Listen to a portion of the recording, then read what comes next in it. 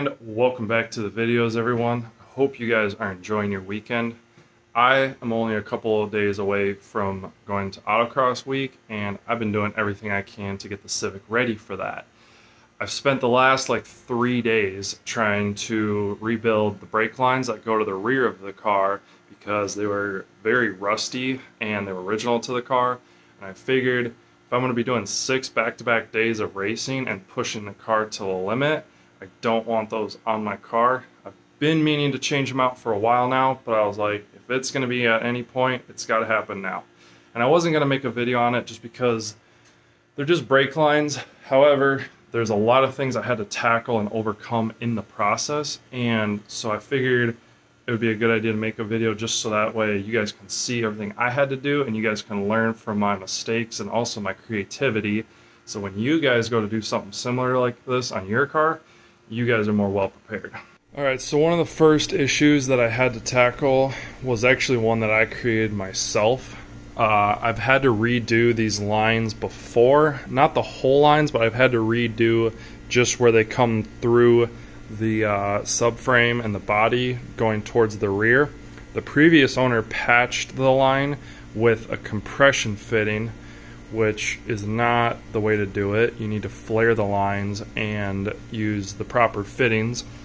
So what I did when I fixed it myself the proper way slash improper way is I actually just sent the lines down through there but uh, near the steering rack and then went back when in reality it's supposed to go right where those two flex lines are going and it's supposed to go between the body and the subframe.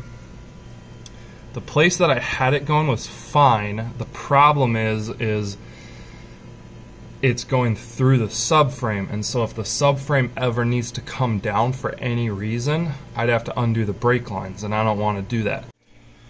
So the proper solution to all of this is to go between the body and the subframe However, it's kind of tricky because that path is far from straight and it's a very tight fit. So what I did to overcome it is just get some braided dash 3 AN lines so that way I could just feed them right through and it wouldn't be an issue. However, you don't want to have too much braided soft line in your system because it can make for a squishy pedal. So I tried my best to eliminate the flexible lines as much as possible. So the way I went about doing this is I have some 3 16 copper nickel alloy coming off of the proportioning valve and they go to some adapters that adapt the hard line to the flex lines. These adapters are by Wilwood and they convert my 3 16 tube nuts to the dash 3 lines. Those tube nuts are for a 3 16 line, but the thread on them is a 3 8 by 24. So that's what you're going to need to adapt them together. So this you'll see is where the soft lines come through the subframe and the body and they come to two more adapters that end up adapting it to some more hard line. Now this is a very long stretch of brake lines so I ended up using a pre-made piece of steel line that I got from the auto parts store. And then to secure it to the body, I ended up using two P-clamps with some self-tapper screws. So that way it's tucked up nice and tight along the frame rail and there's no issues with it hanging too low. Alright, so after you come down and you come along the bottom of the vehicle, it's going to come up to two more fittings and it's going to come up to some more braided lines. The reason I went with braided lines back here is because it's the line snake between the gas tank and the body and it would have been very tricky to get some hard lines in here. So I had two pre-made sections of AN lines to make life easier for me. The one going to the driver's side is a 24 inch section and the one going to the passenger side is a 36 inch section then after that, all these lines do is they travel underneath the frame rail through two more P-clamps and then they adapt to more hard line that takes them up into the wheel well and to the mounting tab where it mates to the braided line that is going to take it to the trailing arm. Alright, so once you're back here, these braided lines that are coming to the rear trailing arm, they're from Chase Bays, and I really like them. The quality and the fit and finish and the length on these rear ones are really nice. And when you're on the website, make sure you're aware of the two kits they offer. They have one for these Civics if you have rear discs, and they have one if you have rear drums. So whichever one you need, they got you. Now, I didn't do anything with these front brake lines, but I did order the full kit that allowed me to put braided lines on all four corners. And here's where things got interesting.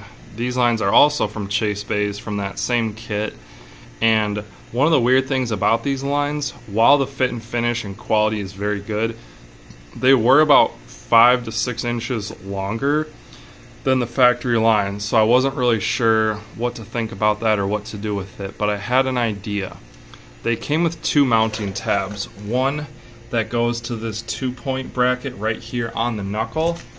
And then there was another one that was just had a single hole in it that looks like that. And there's only one place to mount stuff on the factory lines, which is right here. There's no like additional whatever. And this is a lot of brake line, and I didn't want it all just up here in the front of the knuckle because I didn't want stuff rubbing on the wheel or just being not secure. So what I did, I don't know if this was their intention with the kit, and I don't think it was, but this is what I did, was I just ran the line behind the fork, and I used the shock bolt to attach that tab to the fork. Now I did have to take a step bit and drill out that hole and make it bigger in order for it to fit, but it works. And then I brought the line forward, I brought it through that tab, and then it mounts to the caliper. I don't think that's how they had intended for you to run it, but that's kind of my thought process, and I think that's what's going to work best. It's going to give everything a lot of play, and it's going to make sure everything's secured down because that other tab, I have no idea where else you're supposed to mount it. The other thing that you have to be careful of is because this is so much line and it is traveling quite a few directions, you got to be careful of the wheel rubbing on it. So what I did was I had the wheel put back on on both sides and I had somebody get in the car and cycle the steering wheel lock to lock and I made sure that there was nothing rubbing or binding because if this section here doesn't have enough slack, it'll bind when you go to full left. And then also you have to be careful that the line isn't rubbing on the wheel, which I had a problem on the driver's side, but I fixed it. These brackets are not like fixed at a set location on the line. You can move the line through the bracket like so. And I know this isn't going to bind up when the suspension droops because currently it's up on jack stands and this is with the suspension all the way down and there's no binding at all. So I know I'm going to be good on that front. Alright, so for the last and final thing I wanted to talk to you guys about was flaring the lines. All those hard lines that I was using, especially the copper ones, are very soft and all the rental tools that I was getting from auto parts stores, I was having a very hard time with. They were mushrooming the hard lines of very weird directions, and I was having a very, very hard time getting a very clean and precise flare. So, what I did was I went to Napa and I found this kit. Not all Napas carry this on their shelves, but some of them do, and you can have them order it in. Go and pick yourself up the 165C Carlyle brake line flaring kit. Now, what this does is it flares it just how you flare any other brake line but this is a much more reliable and cleaner to use system than the other ones. You have your clamp blocks here and you put your line in and you use these two hex nuts to clamp it down. Now this isn't really a how-to video but I'm going to show you guys real quick just how you flare these lines is you take the appropriate uh, adapter or die if you will and you get your line set up inside the block. And what you're going to do is you want just enough line sticking out to match that first shoulder. So it's only going to be like a 16th of an inch. So if I can get it on here right. So you're only going to have enough line coming out of there where if you put this up there it's only going to meet that first shoulder right there is where you want the end of the line to go to. So you're going to figure out your length and then you're going to tighten down those screws and you're going to clamp it down. Now this kit comes with a reaming tool. So you're going to use this and between each step I'll take this and I'll clean out the tube. That allowed me to get a very clean and precise flare every time. So once that's clamped down and that's in, you're going to take this and this works just like all the rental tools, but it's just a lot more reliable. And it's a lot easier to use. You're going to back out that center screw. And it's hard to see with the lighting, but there's a center spike in there. And it's going to fit into the back of there. So you're going to put your line in, put this die in, and then you're going to screw this over the clamp block until it's all the way down. And with this in the hard line, with that center nipple in the hard line, and this on, you're going to take a wrench or a socket and you're going to tighten this down. And you're going to start to feel resistance and you're going to start to feel the tube moving and then it's going to kind of hit a wall and you're going to feel it stiffen up. That's when you go ahead and take this off and you're going to take the die out and you're going to remove it and you're no longer going to use that for that flare. And you're going to put this back on and that center spike is going to make the rest of the flare.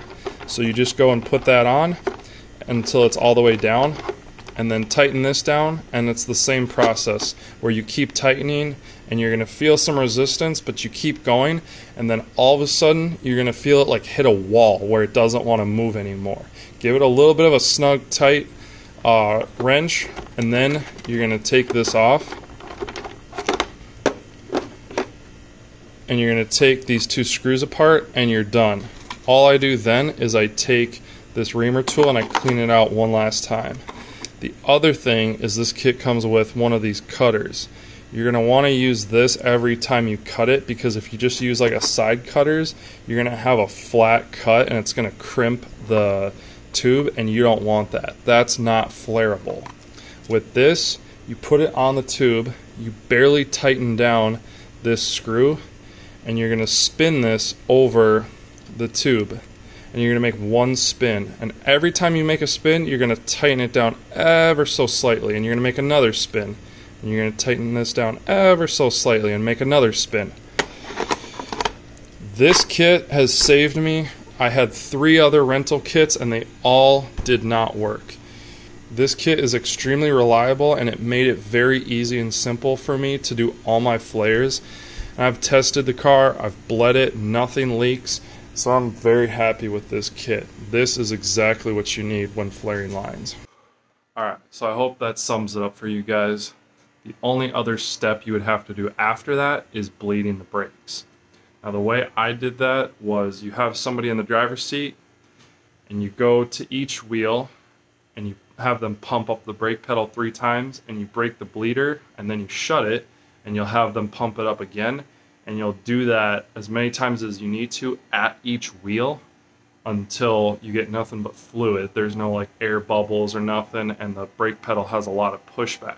There's a lot of kits and everything that you can use to do it yourself that apply pressure without having somebody in the driver's seat. But that's how I've always done it, and that's just how I do it. And that's a very reliable method. Sometimes it takes a little bit, but that's what you do. That's the last step you would need. So hopefully everything works well for Autocross Week. I have complete faith in this. I still need to go test drive it and make sure everything feels 100% under driving conditions, but this is basically everything I had to do to build these brake lines, and I hope this is helpful for you guys as well.